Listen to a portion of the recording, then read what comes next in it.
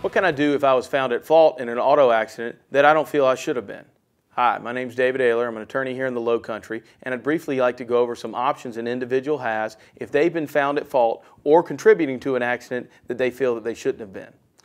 When the authorities investigate an accident, unfortunately there are times when witnesses' statements are not taken or other specific key pieces of evidence that could be used in your benefit are not seen or appreciated.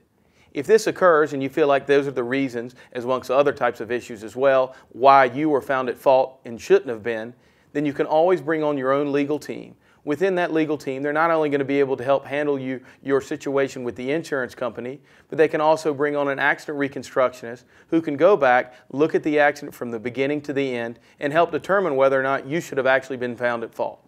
If in fact it's realized that you shouldn't have been found at fault and it's the fault of the other driver or other individuals involved, then you can contest those claims, of course, both within the court as well as any potential coverage that you feel like should come to you for the accident. As opposed to, of course, leaving it as is and you being responsible through your insurance company for the accident in and of itself.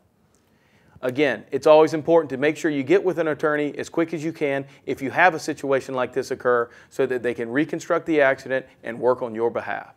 For further questions related to auto accidents, as well as other personal injury and criminal defense issues, you can always contact me at my office, which is 843-577-5530, or on the web at www.davidaylor.com. Thanks for watching.